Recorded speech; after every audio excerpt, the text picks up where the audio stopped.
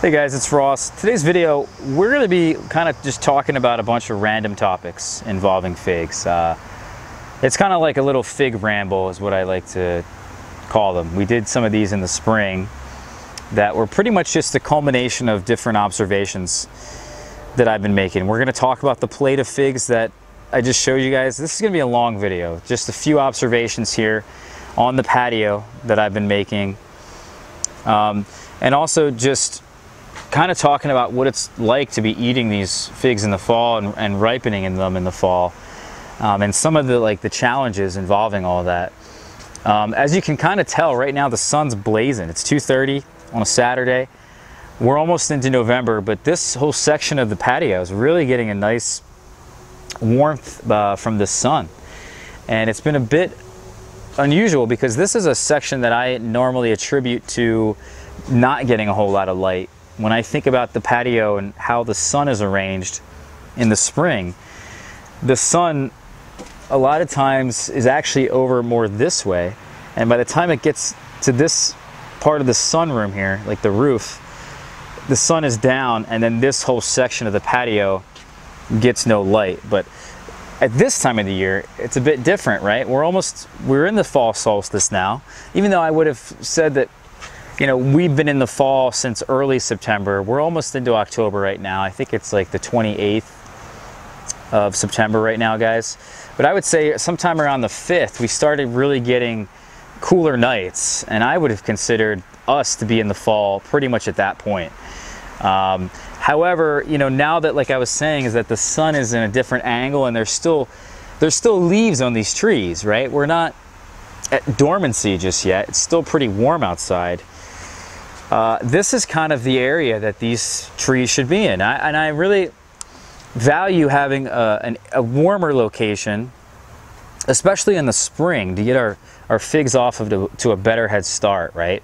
Uh, we talk a lot about that in the spring and how we just have a really cool spring that's really not conducive to getting our figs off to the greatest of head start. That's why we have the greenhouse back here to help, sort of help with that. But this this whole row, I made this observation today and a few days ago.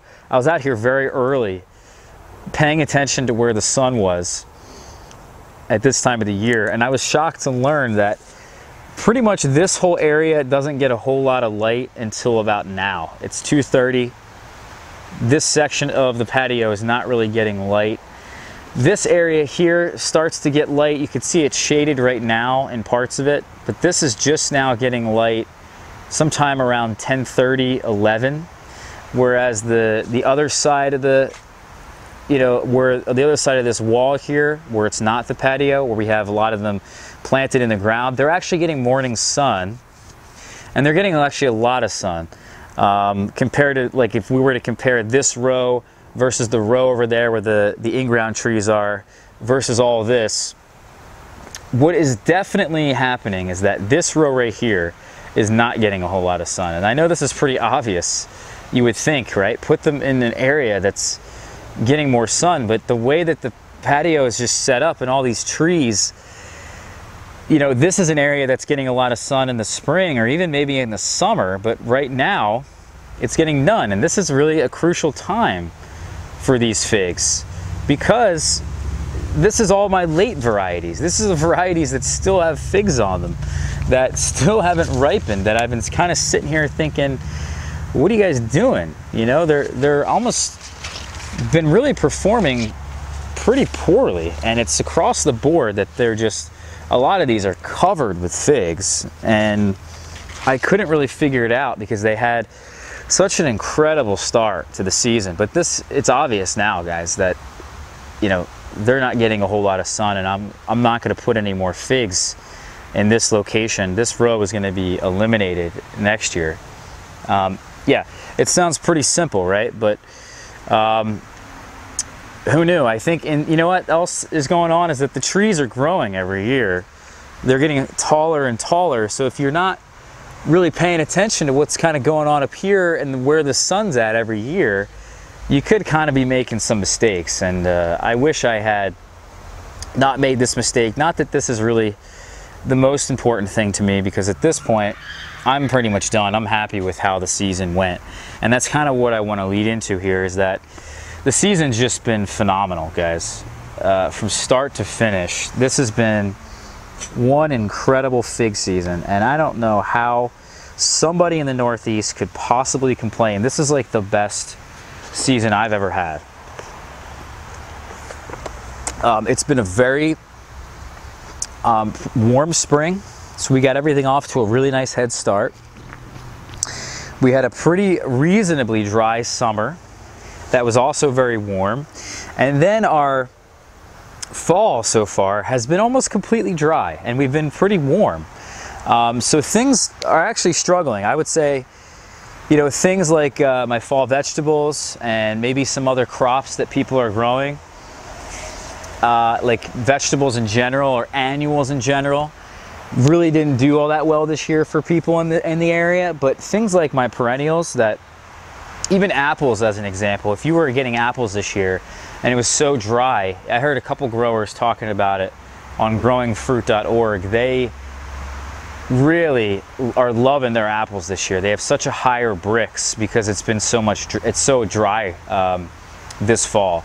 And it's the same thing with the, the figs is that I've been able to get a few of these that are, believe it or not, sort of dried up on the tree. I've had a number of dried figs this, this fall, like Malta Black, Improved Celeste. Uh, we had some dried Azores Dark. We had uh, a couple really well ripened Smiths. We had uh, let's see, what else did we have that was pretty dried? Um, we had some pretty well ripened black Madeiras. We had our Verdino del Nord, which is actually right here, has been drying up on the tree wonderfully every single time. Here's actually the inside of this wonderful, beautiful fig. It's a fantastic variety. We did a review just on this. Uh, take a bite. It's pure jam very thick. It's wonderful. I also have a variety here. It looks like it's already dried up because we cut it in half yesterday and it's been sitting on the counter and it kind of dried up a little bit on the counter. This is De La Roca and this is an incredible fig, guys. This is just like the Col de Dames and it was able to dry on the tree for me the first one of the year. It's, uh, it's insanely good. Yeah, that's like nuts, guys. That's one of the best figs I ever had. Oh my God. It's so chewy. This is just very uncharacteristic so far, guys, of our season. This is not normally what's supposed to happen. And I'm gonna bring you guys around and just, you know, I'll bring you guys around right now. We'll go back to that plate.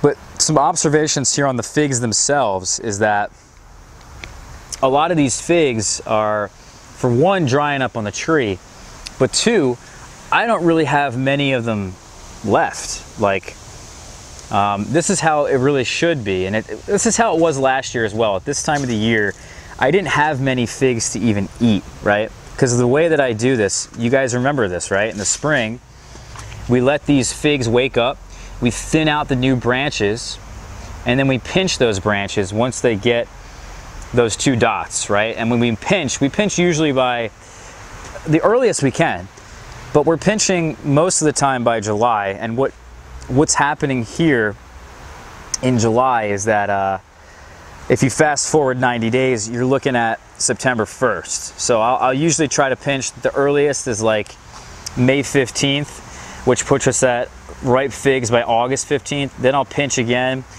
June 1st, and we get things by September 1st. And then we do September 15th, then we do July 1st. And the figs that are ripening right now are the figs that we had pinched by July 1st. And July 1st is really the last date that I pinched these trees.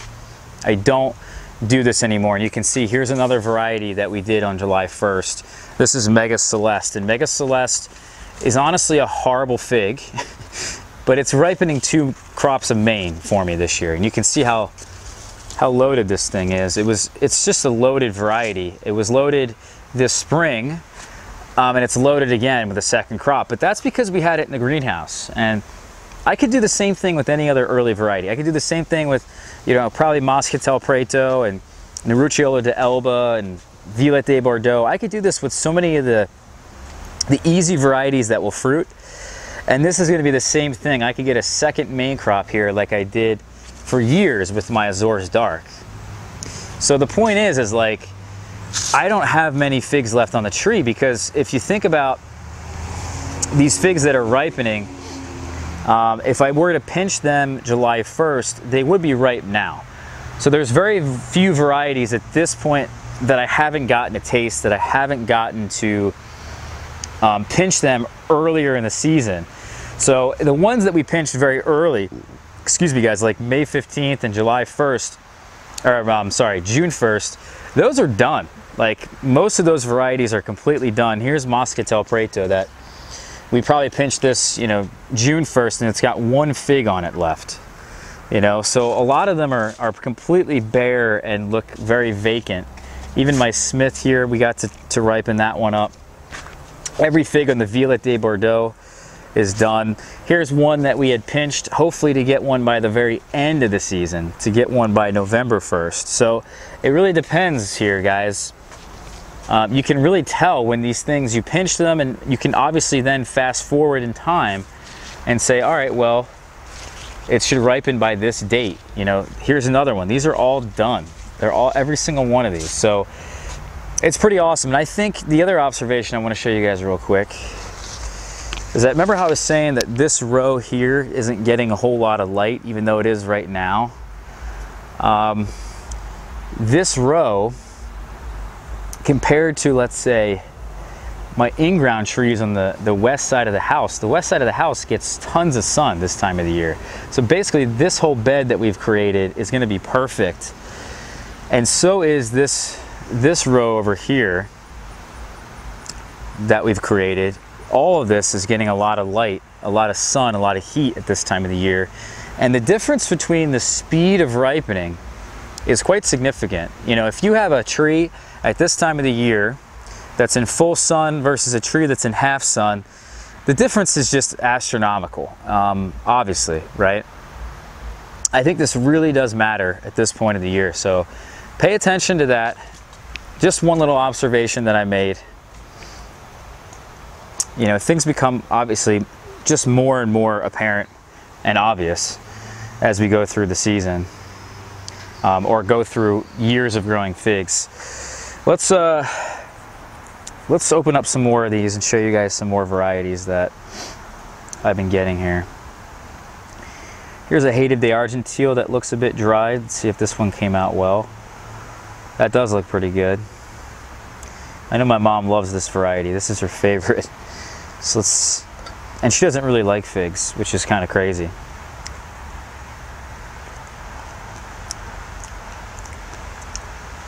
Wow. That's very, very strange.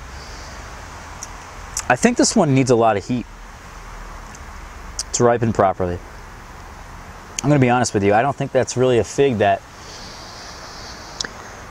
if you're ripening it now, I don't think that's probably a good idea. And I think Herman actually mentioned that years ago, saying that you shouldn't grow this fig in this area because it needs a lot of heat. And I sort of agree with that. I'm in agreement. I definitely am in agreement now. And I, I, you know, I have a greenhouse, so I can just stick it in the greenhouse. Everything will be all right. Let's open up some more of them here. This is uh, Fico Gentile. Get many of these Adriatic types. Not bad.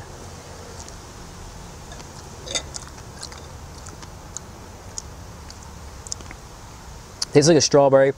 Not many of these are really uh, perfectly ripe. Here we have a Sweet Joy. This is just a wonderful, wonderful fig, guys. Absolutely wonderful. That's great. This is a fig that everyone in a warm climate, I think, should be growing. It's a really good honey fig. We even have some Smith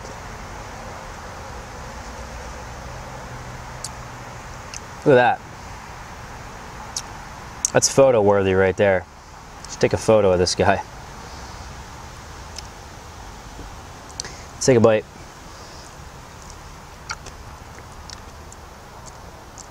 Fantastic. Here's um, our first Ravin DeKalb of the year. Oh, that looks really good. Also very pho photo worthy. Now, some other observations is that some of these are just not, they're not at the quality I, I would want them to be. They're just not. They don't have the heat. Um, they're ripening very slowly.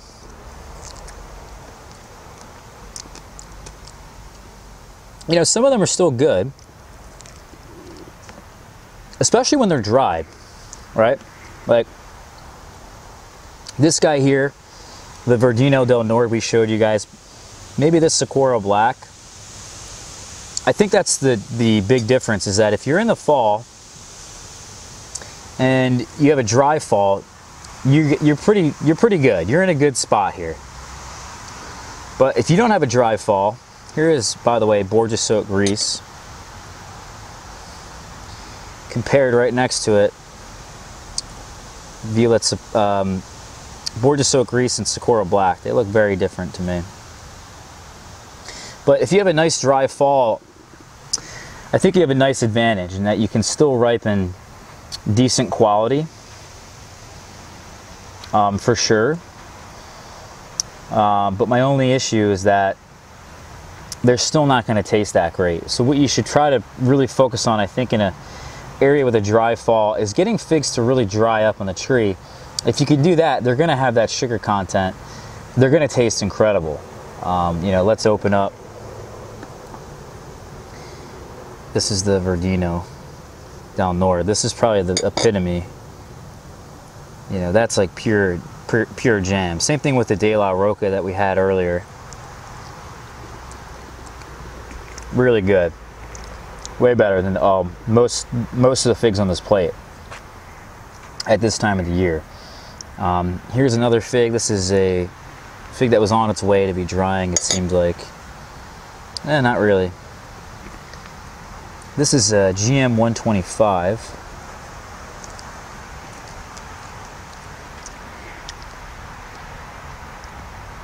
Now, what I've been noticing, this is the biggest point here, is that if you have a fall with very big temperature fluctuations, you get these this splitting down the side.